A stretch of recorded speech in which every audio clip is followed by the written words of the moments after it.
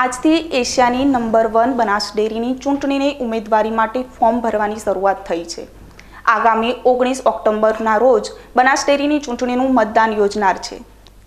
ડેરીના સોળ ડિરેક્ટર માટે ચૂંટણી થવાની છે. બનાસ ડેરીના ચેરમેન શંકરભાઈ ચૌધરીના નેતૃત્વમાં છેલ્લા પાંચ વર્ષમાં નિર્માણ થયેલ જુદા જુદા પ્રોજેક્ટની બનાસ ડેરીએ વિકાસની અનેરી સિદ્ધિ હાંસલ કરી છે. ત્યારે બનાસના વિશ્વાસમાં ફરી પુનરાવર્તનનો પવન શંકરભાઈ ચૌધરી માટે ફૂંકાઈ રહ્યો છે. અને કુશળ વહીવટ અને ટેકનોલોજીના માધ્યમથી છેલ્લા પાંચ વર્ષમાં થયેલા બનાસ ડેરીના વહીવટમાં પારદર્શકતા એ જ પશુપાલન માટે પુનરાવર્તનનો નારો છે. આજથી ઓગણત્રીસ સપ્ટેમ્બર સુધી બનાસ ડેરીના ચૂંટણીના ઉમેદવારી પત્રો ભરાશે, જોકે બનાસ ડેરીની ચૂંટણીને લઈને જિલ્લાના સહકારી માળખામાં રાજકીય માહોલ ગરમ થઈ રહ્યો છે.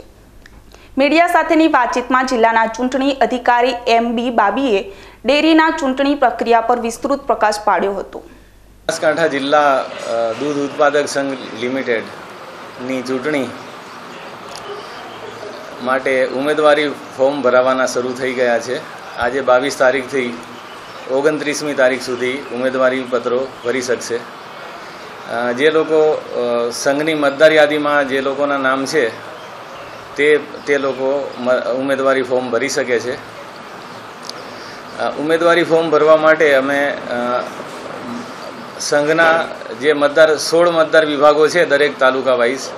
બનાસકાંઠા જિલ્લાના ચૌદ તાલુકા અને પાટણ જિલ્લાના સાતલપુર અને રાધનપુર. એ બે તાલુકા. એ તમામ તાલુકામાં મામલતદાર કચેરીમાં સંબંધિત તાલુકાના ઉમેદવારો ફોર્મ ભરી શકશે.